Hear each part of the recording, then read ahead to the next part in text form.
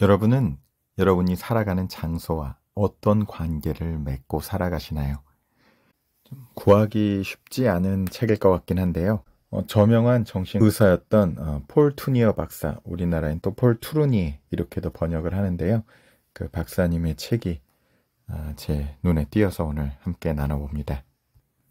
world class book coaching 책추남 나비스쿨 시작합니다. 자, 간단한 소개죠. 인간 장소의 심리학. 인간은 태어날 때부터 장소를 갖는다. 어린 유아로부터 성장 단계에서 그가 어떤 장소에서 성장했으며 교육받았느냐에 따라 그의 인간성과 인격이 성립된다. 사람은 자기의 태어난 장소와 지내온 장소, 현재 머무르는 장소와 밀접한 관계가 지어진다. 여기서 고향을 사랑하는 애양심이 생기고 자신의 조국을 사랑하는 진정한 애국심이 생긴다. 폴 투니어 박사는 인간과 그가 맺어지는 장소와의 관계를 심리적인 면으로 다루었다. 뿐만 아니라 종교와 심리학의 미묘한 관계를 구체적으로 기술하고 그 합일점을 찾으려고 노력했다. 당신이 설 곳은 어디인가? 이 말은 나와 깊은 우정을 맺었던 한 어린 학생이 한 것이다. 그는 나와 불가에 앉아서 자기가 겪었던 어려움과 또 자기의 마음속에 남아있던 불안에 대해서 내게 말하고 있었는데 때로는 그와 같은 어려움과 불안에 당황하여 도피를 하기도 했던 것이다. 그는 자기의 마음속에서 진행되고 있는 상황을 객관적으로 보고 그것을 이해하려고 노력하고 있었다. 그때 그는 마치 자기의 생각을 요약이라도 하듯이 나를 올려다보고 말했다. 근본적으로 말씀드리면 저는 늘 어떤 곳을 찾고 있습니다. 제가 몸담을 곳이라고나 할까요?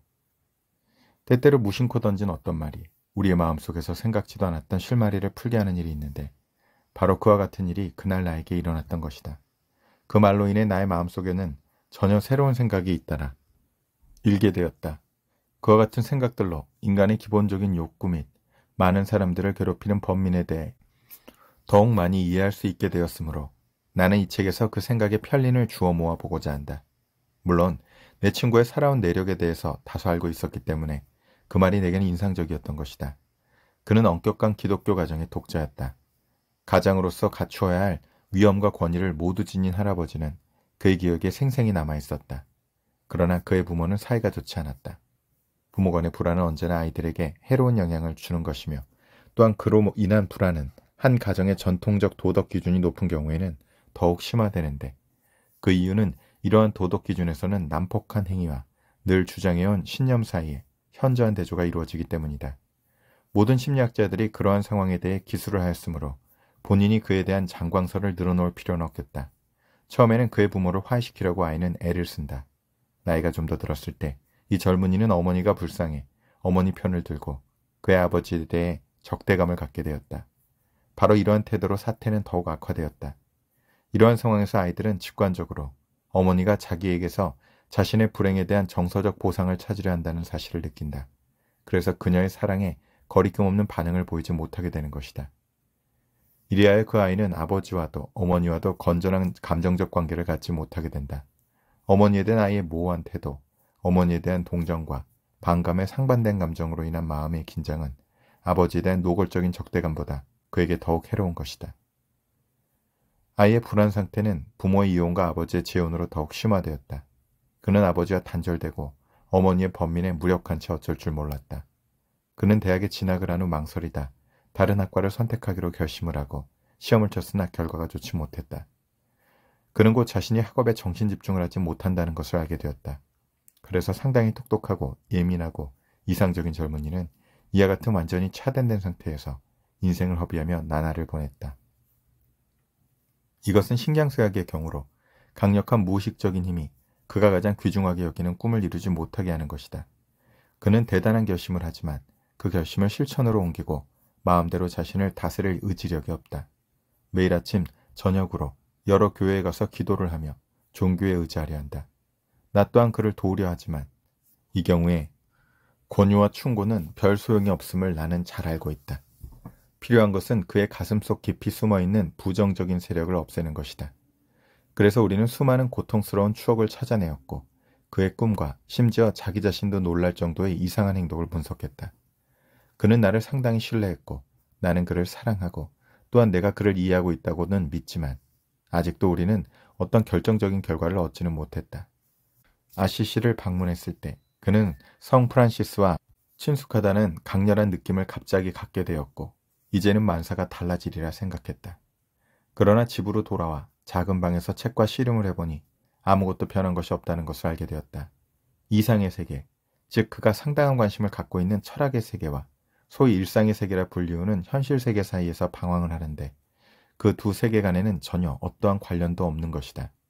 나는 그를 외국인 동료에게 보냈는데 그 친구는 아주 다정하지만 나의 성격에서는 찾아볼 수 없는 확고한 태도로 그를 맞이했다. 그대는 구름 속을 떠다니고 있어.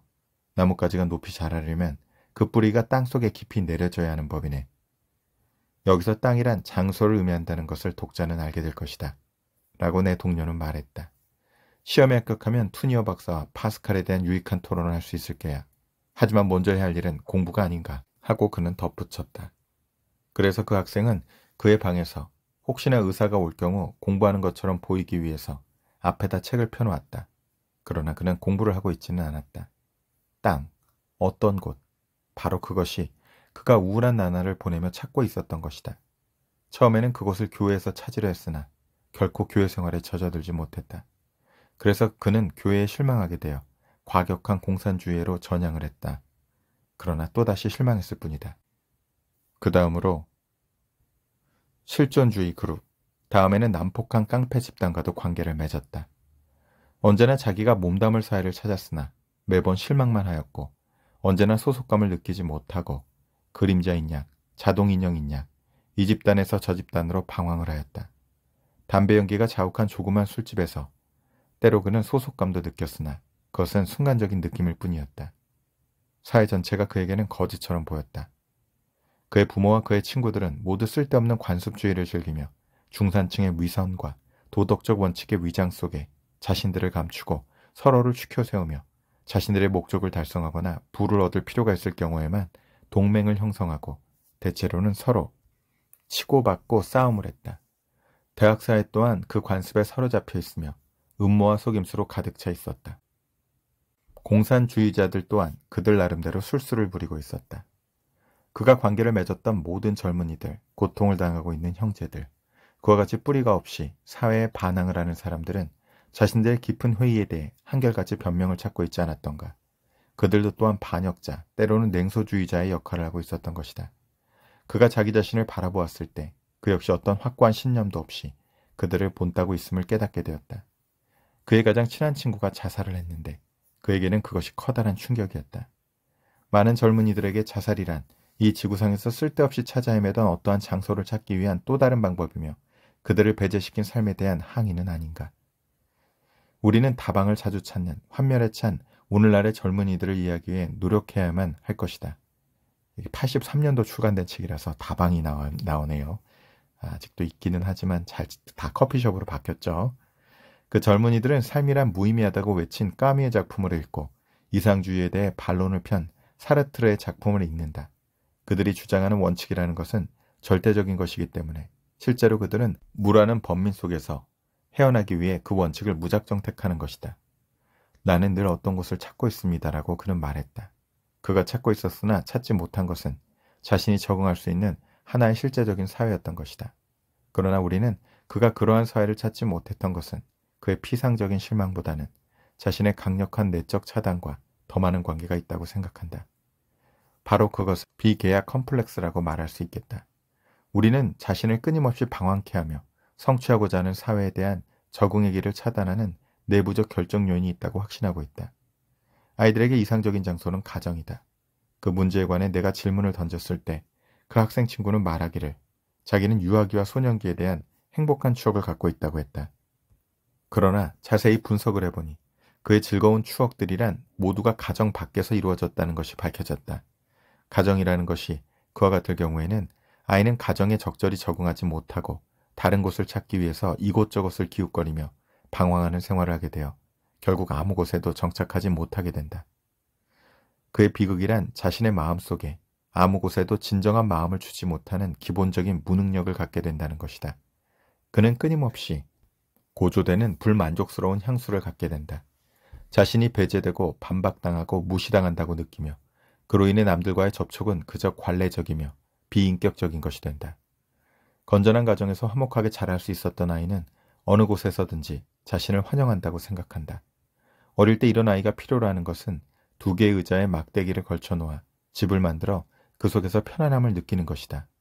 후에 이런 아이는 어디를 가든지 별다른 노력을 하지 않아도 자신의 장소를 만들 수 있게 되며 그에게는 그것이 선택의 문제이지 자신의 장소를 찾는 문제는 아니다. 그렇다면 그에 부합되는 아주 현실적인 그리스도의 말씀을 연상해 볼 필요가 있겠다.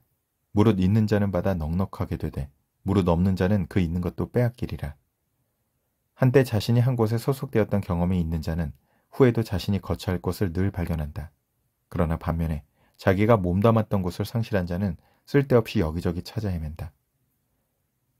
어디에선가 그러한 이론이 인간에 대한 느낌, 즉 인간관계를 맺을 수 있는 능력에도 똑같이 적용이 된다는 점을 나는 언급했었다. 비인격적인 분위기 속에서 성장한 사람은 자신이 완전히 비인격적인 세계 속에서 살고 있다고 생각을 하며 사람들조차도 그에게는 단순한 물건에 불과한 것으로 보인다.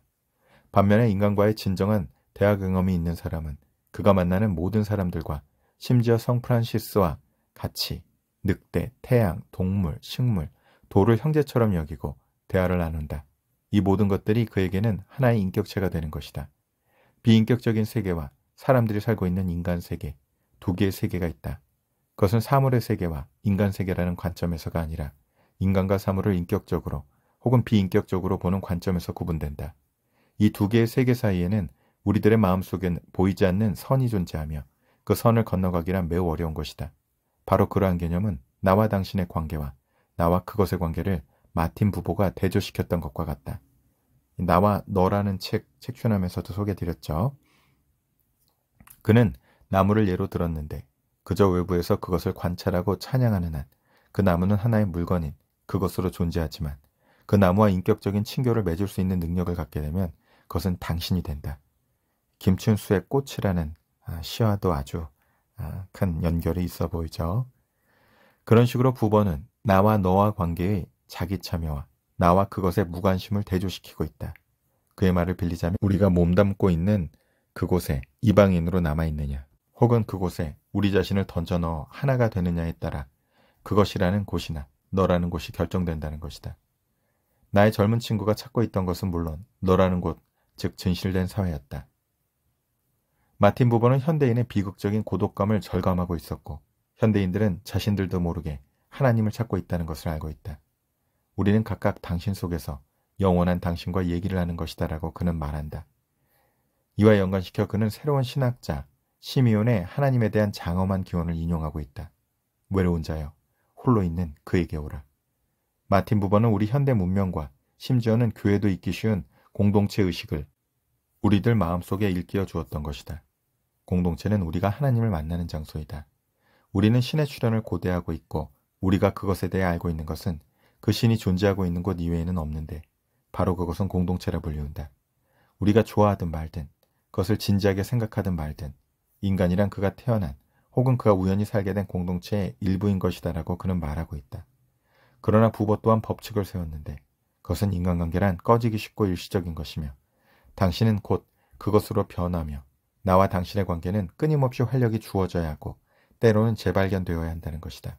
일례로 남편과 아내의 관계도 그들이 서로를 안다고 생각하는 순간부터 평범한 것으로 변할 수 있고 진정한 친구에 불을 다시 붙일 보다 깊고 또한 희생이 따르는 자기 현시가 일어나지 않는 한 그들은 서로 한낱 그것에 지나지 않는 것이다. 나는 때로 인간과 장소의 관계가 인간과 인간 사이의 관계보다 안정된 것이 아닌가 생각한다. 예를 들어 우리는 흔히 우리가 잘 알고 있는 사랑하고 있는 사람일지라도 그 얼굴을 기억해내기에 어려움을 느낀다.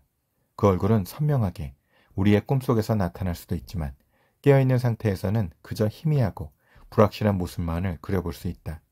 그러나 우리는 자기가 살아온 이야기를 할 때 자기 경험의 배경을 이루고 있는 수많은 장소를 정확하고 자세하게 기술한다.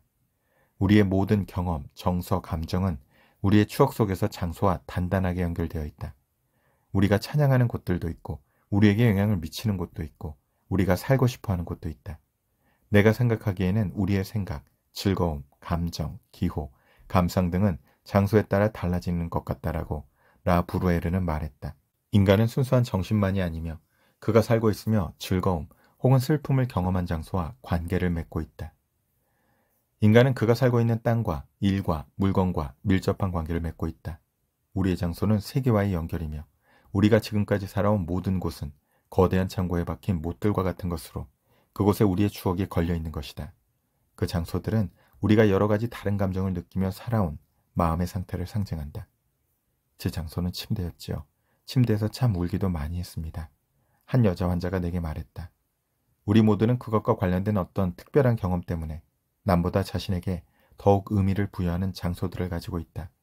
예를 들어 나와 내 아내에게는 우리의 차가 그러한 장소가 되겠는데 그것은 우리가 여행을 할 때 문명의 이기로부터 멀리 떨어져 있을 때 마음과 마음이 통하는 수많은 대화를 그 차 안에서 가졌기 때문이다. 또한 우리의 생활에 결정적인 전환점을 안겨준 해변 혹은 숲속의 개간지도 그런 곳이 될 수 있다. 우리가 과거에 지냈던 그 어느 곳도 당시 그곳에서 우리가 느꼈던 감정을 불러일으키면서 우리의 꿈속에 나타날 수도 있다. 꿈의 배경은 그 배경 속에서 일어나는 행위만큼이나 중요하다. 꿈은 꾸게 되는 장소에 메시지도 전달하는데 그러므로 우리를 특정한 정서적 분위기 속으로 다시 몰아넣는다. 꿈은 우리의 현재 감정을 우리에게 드러내기 위해 과거의 장소들을 이용한다.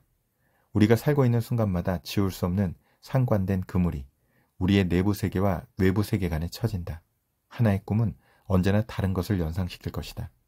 노래를 불렀던 곳과 울었던 곳, 위협을 느꼈던 곳과 자신을 얻었던 곳, 마음의 상처를 받았던 곳과 위안을 얻었던 곳, 이 모든 것을 우리는 우리의 마음속에 간직하고 있는 것이다. 최초로 사랑을 고백한 곳과 최초로 키스를 한 곳, 중대한 시련과 결단과 투쟁 혹은 중요한 조우를 한 곳, 아주 조그마한 일이 일어났던 극히 평범한 곳, 예를 들어 이런 곳에서 나는 지금 글을 쓰고 있고 또한 이곳은 내가 시작하고 있는 이 책과 영원히 내 마음속에 연상되어 떠오를 것이다. 그리고 어디인지 나는 모르지만 여러분들이 이 책을 읽는 것도 마찬가지일 것이다. 그러나 이 책을 읽음으로 여러분들은 나를 연상할 것이다. 순수한 추상 속에서는 아무것도 일어나지 않는다. 나의 장소는 또한 나라는 사람 속에 혼합시킨 모든 사물로 구성되어 있다. 편안함을 느낄 수 있는 양복, 혹은 입으면 불편한 옷, 혹은 친구가 선물한 넥타이 등등. 여성에게는 그녀의 자태를 돋보이게 하는 드레스나 그녀와는 다른 그릇된 인상을 주는 옷, 즉 반지, 팔찌, 목걸이 등이 있다. 나와 결혼하기 전에 내 아내가 고른 브로치도 있을 것이고 손수건도 있을 것이다. 여자의 핸드백과 남자의 주머니는 그들이 실제 생활의 영역에 속한 장소들이다. 그렇다면 나의 타자기도 있고 가장 애독하는 책도 있고 벽에 걸어놓은 사진도 있다. 또한 그것들은 나름대로의 특별한 추억을 담고 있는 것들이다. 내 책상 위에 아내가 놓은 꽃병도 있다.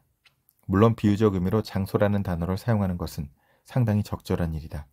우리 고장, 우리 교회, 우리 정당, 생활 철학, 직업 등 이 모든 것들은 우리의 육체가 위치하고 있는 곳들이다.